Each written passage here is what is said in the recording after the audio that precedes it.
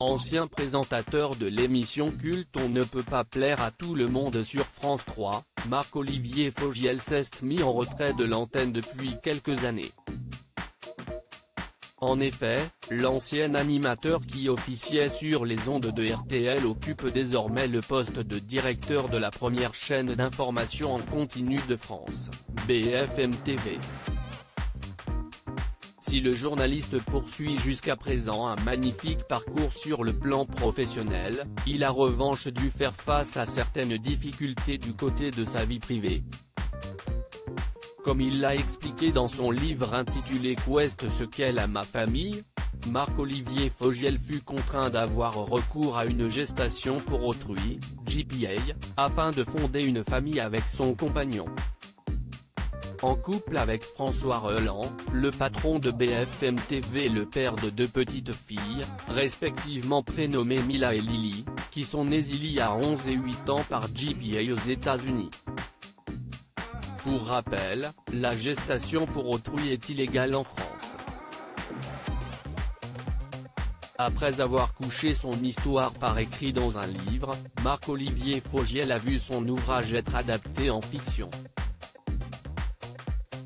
Également baptisé Quest ce qu'est à ma famille, le téléfilm inspiré de ce que le journaliste a vécu sera diffusé mercredi 9 février 2022, à partir de 21h05 sur France 2.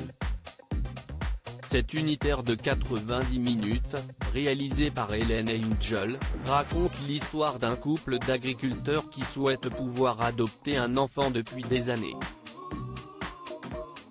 incarnés par Sofia et Saïdi et Malik Zidi, ces derniers vont rencontrer un couple d'hommes ayant eu recours à la gestation pour autrui pour fonder une famille.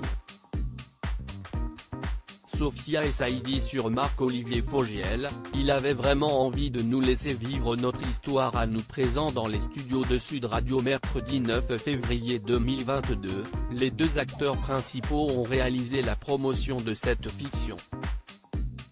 Au cours de leur interview face à Valérie Expert et Gilles Gansman, l'ancienne pensionnaire de la Star Academy a révélé si Marc-Olivier Fogiel s'était rendu sur le tournage de ce téléfilm. Non, il n'est pas venu. Il me semble qu'il avait vraiment envie de nous laisser vivre notre histoire à nous. J'ai trouvé ça vraiment super comme si est-il librement adapté, de son livre, note de la rédaction, on s'est permis des choses sur le tournage. Et puis comme il y avait le Covid c'était un peu compliqué de venir sur les tournages, a expliqué Sophia et Saïdi.